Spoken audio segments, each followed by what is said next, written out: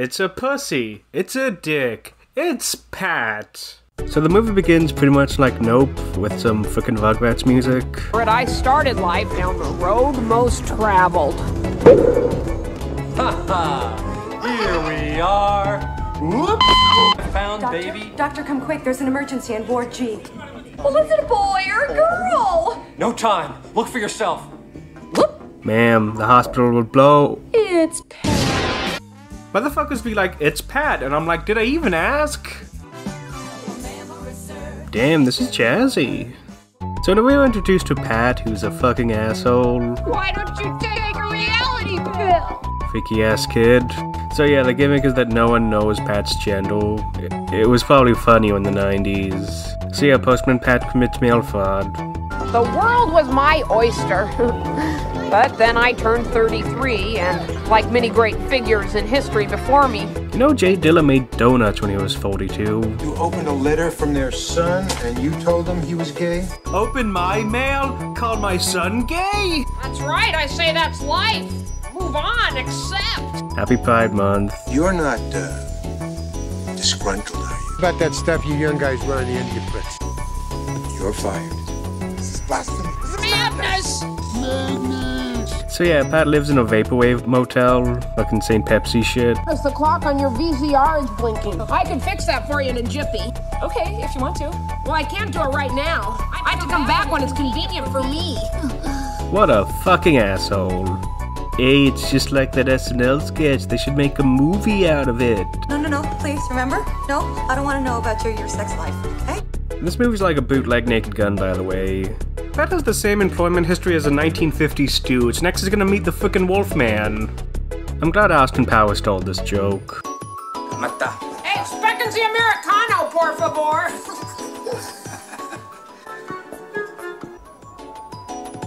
so did I tell you I'm unemployed? Pat's a fucking bum. Every SNL character after 1993 can't walk. All they know is charge their phones, twerk, be androgynous, eat hot chips, and lie. Oh, I'm sorry, I gotta go. See ya. You're my best friend, Kathy. This guy isn't 33, he's fucking 12. Motherfucker Pat looks like a mix between Pizza Hut and a garbage pail kid. So Pat is a health inspector or something. Also, Pat meets Chris and they hit it off. Uh, by the way, I'll refer to Chris as they slash them because that makes sense, and for Pat, uh, it's slash she because the movie refers to Pat as an it, and Pat is canonically a, woman. Spoiler alert, uh, Pat's too stupid to know about other genders or androgyny. Also, Pat's a fucking asshole, so fuck him. More fucking Naked Gun jokes. Also, why does this remind me of BFL? You know what I hate? Are bad, boring movies. Oh, so you hate this one. So yeah, we were introduced to the Evil Dead neighbors. I crushed my nuts. As in food, like it's a dick joke. I love to stroke your pussy cat. I know. As in cat, like it's a cunt joke. Yeah, I'm not ignoring that Star Wars transition. What's Pat's laundry like? Well, I don't know what Pat's laundry is like. It's not like I go around looking at people's dirty laundry. Bitch, please.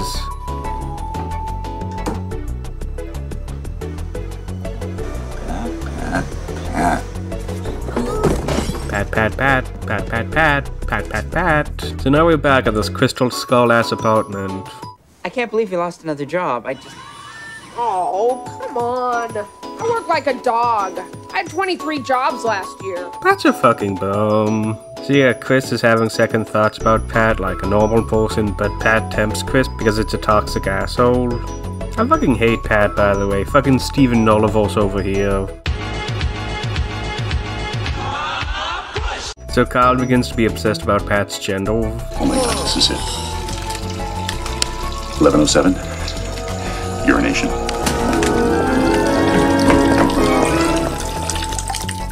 That's a waste of fucking water. So Pat and Chris have an engagement party and literally everyone is thinking the same thing. I would just ask, but that's because I'm less of an asshole. See what we got? Attention, Let's open it. Yeah, I hope Geno's and Smash. This is something we'll both enjoy. Chris is too good for Pat. Also, did I mention Pat is a fucking toxic, spoiled brat? Told me my son Bitch! So when watching this movie with a friend, they thought I was being too mean to Pat until this scene. People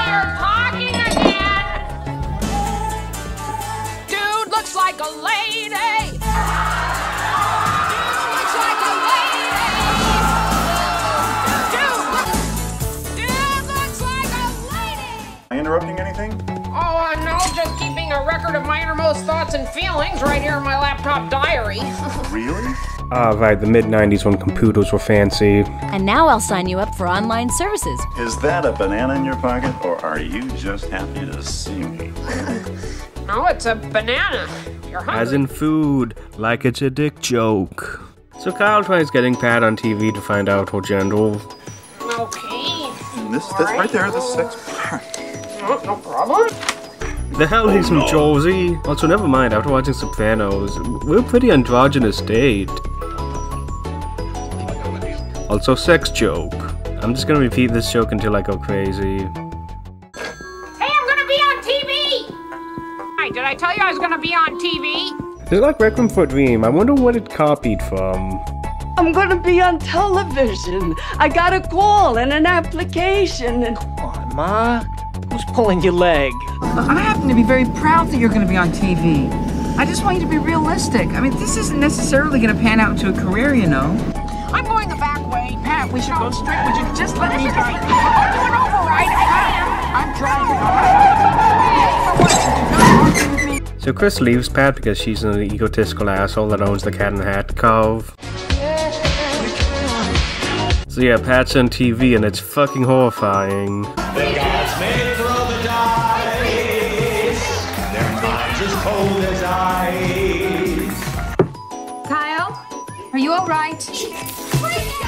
I'm fine, um, no problem. It's just that you've been in there for three days. I like the red dress just being on television. Me, you wanna get five views. Hey, we have a celebrity in the building! Me! was great or what? You were fantastic. Please, come in, come in. All right. Make yourself very. You like Huey Lewis and the News? You were, my God, I was kind of a spectacle. the camera really loves you. I mean, really, really Well, you guys are horny all the loves you. Got the wrong impression about me. I like you as a friend, okay? A friend. To tell you the truth, you're not exactly my type, if you know what I'm saying. Who wouldn't fuck the sus guy? But, uh, I'm really sorry about earlier. Well, I understand how you can get over emotional sometimes. They're actually very reasonable. Get a fucking job. Pat's like Millhouses, and I just want to watch her get stung by bees, and it'd probably be the funniest shit ever. So yeah, Ween meets Pat. Uh, you remember Ween, right? Uh, Ocean Man. I'm in a band!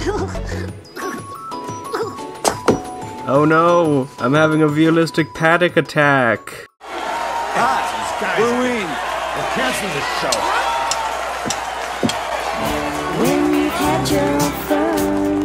Man, they really out less successful Weasel. Why is Pat dressed like she's about to sacrifice everyone to a cloud monster? Hey yo, play that good shit!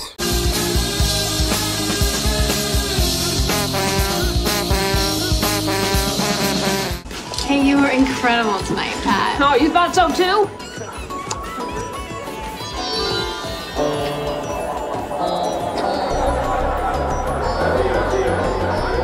Pat, those aren't hallucinogenic mushrooms. They're from Safeway. As in food, like it's a weed joke. Hey, you guys, I played with the weed! Oh, so Ween was the dick joke. Oh. Play with the ween! Destroy us all! So yeah, Carl's side hoe leaves him too. And we booked you for just one performance. That's all. We were filming a video. I mean, didn't you read the contract we gave you to sign? You guys were nothing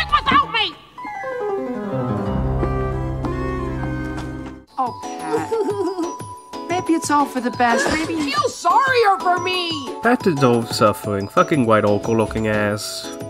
Would you still love me if I let a cloud monster eat us all and our closest friends? You know, I don't think you know what you want out of life. I just want fame and riches. And some bitches. If you're not being supportive enough. I need something for me right now. Chris leaves Pat again because they were too good for Pat. Seriously, in the span of 30 minutes, there's three scenes that are like, Pat, I don't think you're marriage material. You can barely wipe your ass. But Chris, my patussi though. Okay, fine. Who structures a movie like this? Dear diary, I am at the lowest point of my life. Shit's gonna get stolen tomorrow. I love David Lynch. Pat, your ass stinks. You bring shame to the LGBTQ. Ayo, I'm not done yet. Ayo, come back! I should record that dream in my diary. No! I was right. My diary's been stolen! My diary's been stolen! Oh, Kyle! Don't you need a password to gain access to the diary itself? Yes. Yes, I do. And what was that password? He didn't steal it. No, no, no, no, no.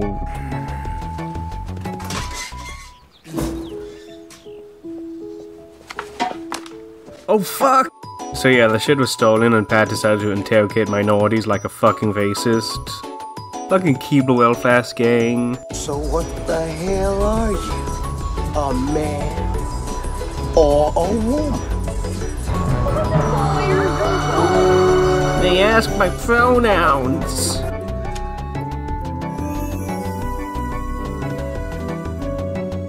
Yeah, at least it isn't fun size.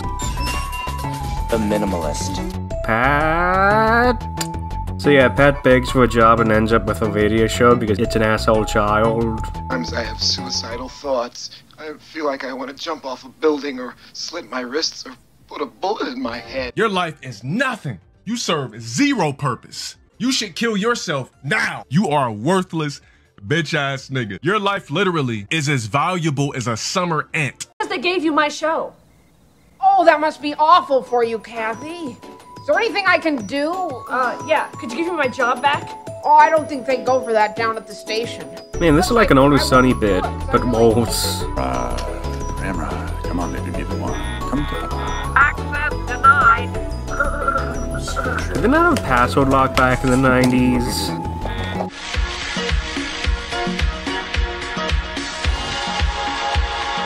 The devil met the Pope? Hi. Blast from your past. Hi. I'm a famous radio personality now. He was a Oh, TV no. star, then a Vox star, now a radio star. When is he gonna Oh, host no. SNL? Man, with the power of AI, you too can create Jorma on Evil Dead. Also, there's a racist ass looking doll, fucking golly doll Pat. Access granted. We're in. We're in. We're in. We're in. We're in. We're in. No, don't fuck the Pat pit. So yeah, Chris gets Bukaki and it reminds him of Pat. Pat's egotistical again and blows off the only good person in her life. I, I love Pat for who Pat is and not for what Pat does. I say hit the road and don't look back. People, I don't know why they get hooked up with these losers in the first place. Comedy. The diary's useless, by the way. So yeah, who felt more pain, Kyle or Jorma playing Simpsons Hit and Run? Why? That's so unfair. So Kyle tells Pat that he has her diary and wants to know her gender.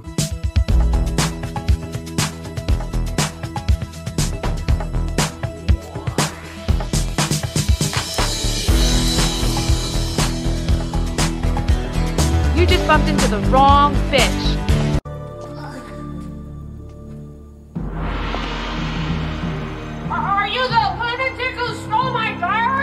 If I uncovering the secret of you, I uncover the secret of myself.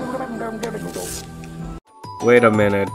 Crazy fan stucks an upcoming star, tries to be like her. This is just perfect blue! Word for word, bar for bar, line for line.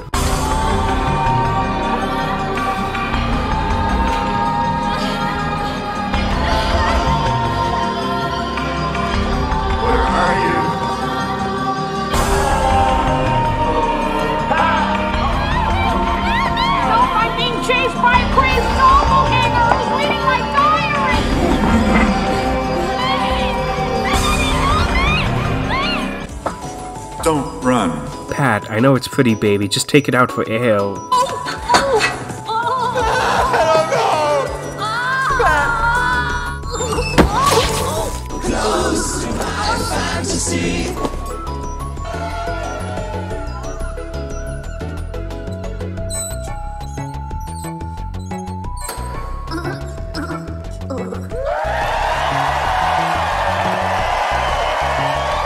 It's like the most peaceful gender reveal party. Where's the quatch? So yeah, now Pat realized that she needs some of that they them pussy and runs off to see Chris. I don't know why, but seeing Pat run like this is like is the best joke of the movie.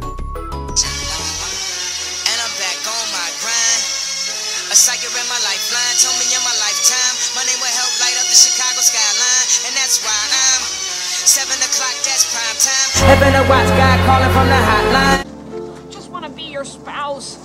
Just want to be like a typical American. I want to settle down and have a house and 1.8 kids and lead a life of quiet desperation. So yeah, Pat and Chris get married, and uh, yeah, that's about it. The end. Also, is the cat dead? I just realized I haven't seen him since that Star Wars swipe. I hate Pat. I hate it. So yeah, this movie isn't good. Like, what you'll hear more in the batch is that this doesn't feel like a movie. This feels like a higher budget SNL sketch. I think the biggest issue of the movie is how every main character is supposed to be the straight man for Pat, which doesn't work because you do need characters to either play with Pat or to be as silly as she is. The other movies in the batch knows that rule. Like, imagine Pee-wee, but with no silly characters. And everyone is like, Oy vey, when is this adult child gonna leave us alone? Even Smash knows that they need characters to play with him. 30 love, bitch. Also, Pat's a fucking child in this movie. I'm kind of surprised they haven't sent her ass to college or something. I would have enjoyed it if it was Pat at a university and met other people like her, a la Muppets in Space, Muppets from Space. And she kind of becomes like a trans icon, probably identifying herself. But eh, that, that would require a three act plot structure. Also, I saw some SNL sketches after watching this, and holy shit, he's really stiff in them and awkward. Like, I'm glad they kind of updated him for better or for worse, so it doesn't look like a fucking horror movie. I also listened to some Ween too, and uh, they do sound better live. People bought this album. Also, there's a missed opportunity for Ween not to do the song for the intro, unless they did. They sound like little kids in that one scene, so maybe anything's possible. So, uh, fun fact Quentin Tarantino did some rewrites for this movie.